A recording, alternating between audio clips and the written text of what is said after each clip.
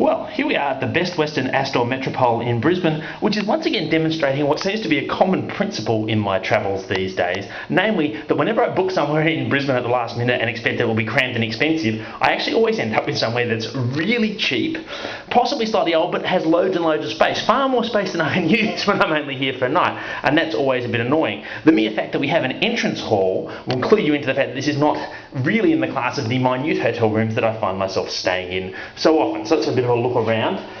Symbolically, we don't have the power thing. In fact, it always happens to me in Brisbane. This door needs an actual key. I'm not quite sure what all that's about. As we wander through, we come into the bathroom. Now, this is clearly an older style bathroom. It's clearly a cheaper bathroom because there are our dispensers for our soap and our shampoo. But on the other hand, it all looks reasonable. We qualify for the We've Got It Right award by providing a sink plug, and we also qualify for the Clearly We've Downgraded a while ago by the fact that right here is a phone jack for using next to the bath, which is no longer actually in place. Now, they warn you when you check in here that, you know, this is not a best Western room and you might ask for an upgrade, but frankly, I wouldn't bother because look at this. I've got a whole living room. I hardly ever get this. Now, it immediately has to be said that the desk here has no obvious power points. At first I thought, blimey, it's going to be another one of these move the furniture or run down the battery scenarios, but in fact that's not so, as we'll find out.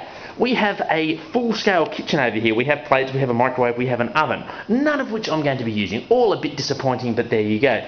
We have not one, but two enormous lounges. This lounge actually converts into a sofa bed, so in fact I could probably sleep five or six people in here. I'm not going to, there are no orgies planned, but you never know.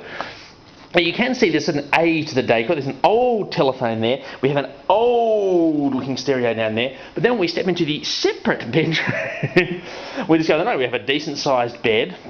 Another ancient stereo, no clock, normally something I criticise them for, prepared to forgive them this time.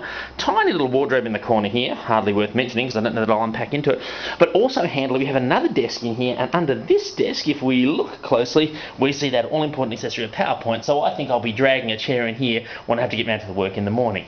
Anyway, when you book your hotel room at the last minute and you're a cheapskate, you normally can't expect too much. So I'm very pleasantly surprised by this, and it may just move me down to this end of Wickham Terrace for future visits into Brisbane. We'll see.